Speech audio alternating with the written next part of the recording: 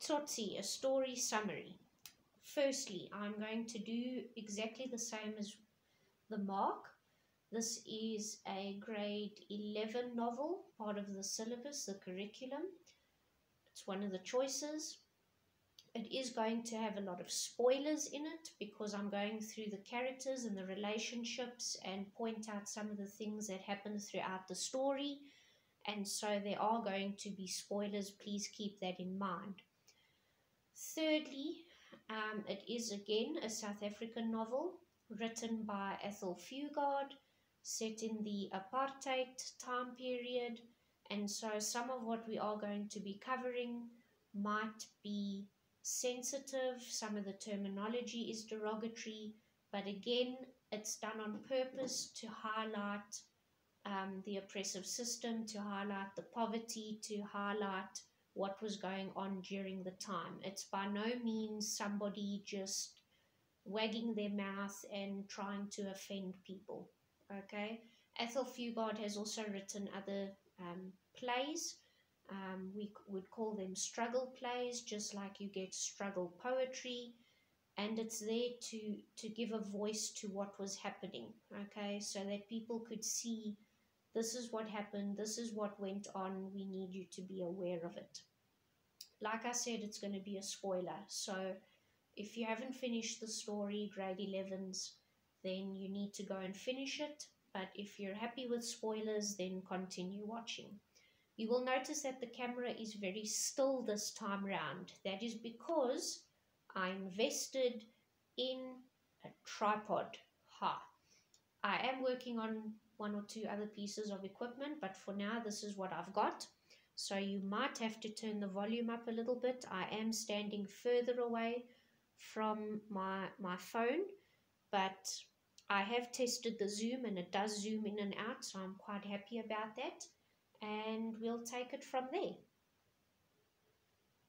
Alright, so you'll see redemption is written in green and what I've tried to do because of the heavy symbolism and imagery I've tried to use certain colors to represent certain themes. So redemption I've put in green if you think of growth, new start, new life, spring everything is green, everything is bright. It's almost like you've got a new slate to work on.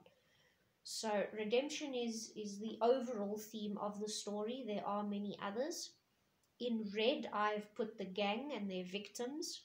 Uh, the yellow dog, you will see, becomes very, very important later on. You will notice a whole bunch of arrows. And also you will notice that there are a lot less characters than in the mark. So, just like you might have a play where you don't want to get lost in all the main characters, sub characters, add ons, extras, you want to keep this very plain and simple. Remember, this is to highlight the troubled times of the 1960s, 70s, and 80s. So I'm going to zoom in and show you the gang. Okay, on the left hand side we have Tsotsi. I've represented him with the brain because he is the leader of the gang. He is the youngest member. He is very lean, um, flexible, but he's got a certain look about him and the way that he carries himself. People look to him as as a leader. Uh, secondly he also never makes mistakes. If we look at Butcher, who's directly underneath him, Tsotsi knows not to trust Butcher because Butcher will kill you as soon as look at you. The reason he's got a bicycle spoke is because he's very good at finding out where to stick it in order to kill you. We'll see that with the first, first victim. Next to him is Die Aap. Again, like I said, the characters refer to him as this because of his long arms.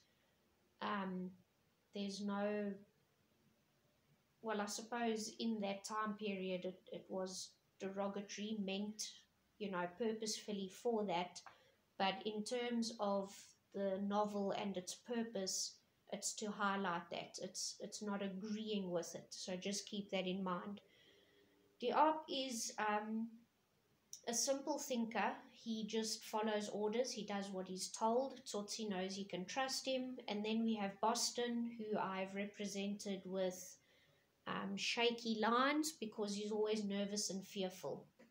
Okay, he smiles but he hides fear, and Tsotsi knows that. Okay, Boston Boston fears him immensely. Then, if you look at the top right hand corner, we've got Gumboot Dlamini. He is the first victim. Chapter 1, Friday night on the train. He's got a pay packet, a tie, and a smile. And those are the three mistakes that he made. But if you've read the story and when I go over it, you'll see what I mean. In the center, we've got Morris Tshabalala. Now, Morris Tshabalala is interesting because he is one of the catalysts or triggers for many of Tsotsi's memories. And there's at least two chapters on him and a significant amount where it is a flashback.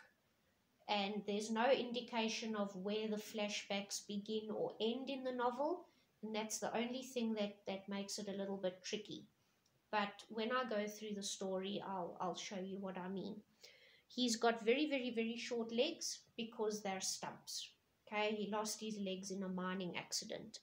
Then on the left hand side, we've got Miriam. There's a man crossed out because her husband, her partner, left for work one day and never came back. It was during the bus boycott, so it's quite possible that he got arrested. Uh, maybe there was a stampede and, and he died. But she's hoping that he will return one day. She's always asking people about him. She has a son of her own that she's looking after, uh, named Simon. Then we've got the yellow dog. So I'm just trying to, there we go. So we've got the yellow dog. The yellow dog you are going to see all over the place and that's because it is a very significant memory and it has a massive impact on Tsotsi's mind.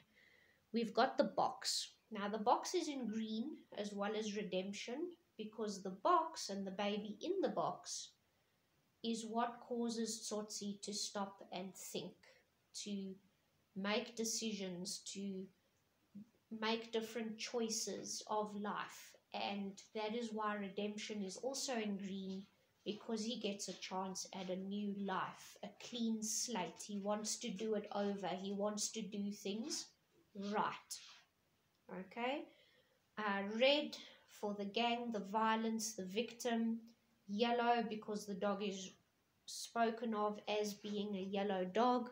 I'm not going to use all the swear words that are in the novel. It's a very, very rough, raw, crude novel um, once again to highlight the poverty, the violence, the inferiority, etc.